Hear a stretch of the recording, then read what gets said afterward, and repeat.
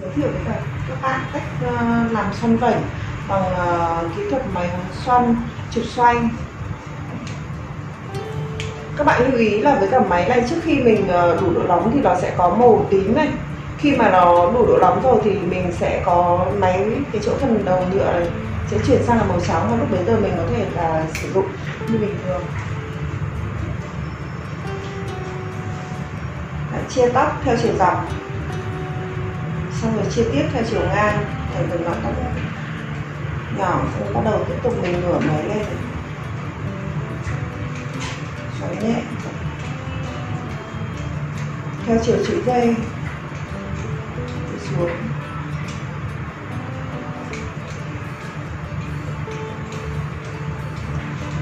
Các bạn muốn chọn cái lọn xoăn ờ, tự nhiên thì mình sẽ chọn phi từ 25 cho đến 28 còn nếu như muốn là những muốn lọn xoăn dối thì mình sẽ chọn phi 19 đến 22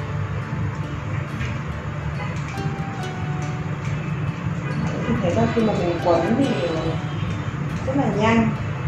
Bé này mình rất tốt. Nhiệt nóng nhanh. Và ra một cái lọn xoăn rất là tròn.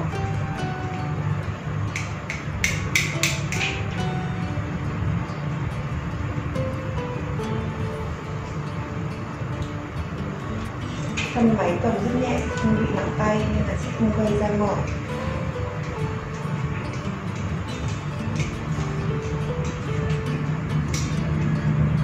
Chụp xoay cũng rất là trơn không bị xích. Nếu này kể cả các bạn mà mới học, các bạn có thể là chưa quen làm cái phần máy này cũng rất là dễ sử dụng so với cả các dòng máy khác.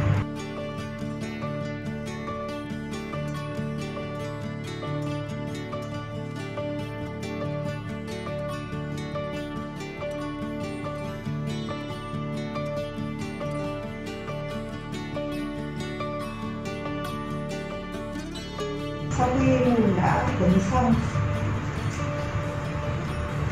thì mình thấy là tất cả các ngọn đều rất là tròn đều và đối xứng nhau.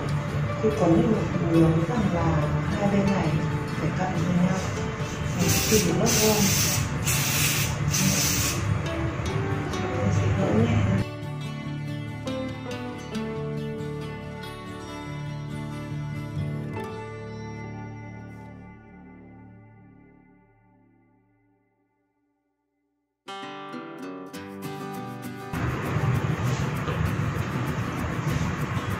có thể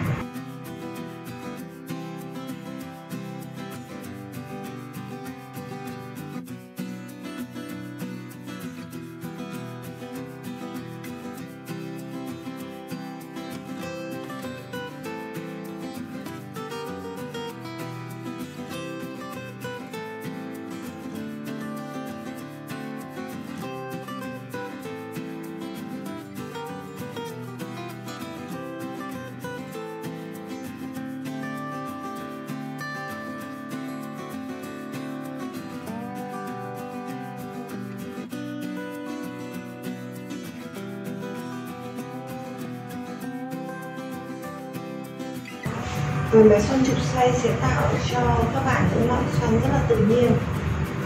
Ở đây mình đang sử dụng chính là máy xoăn trục xoay C25 Thì kỹ thuật xoăn vẩy này các bạn có thể sử dụng để đi chơi.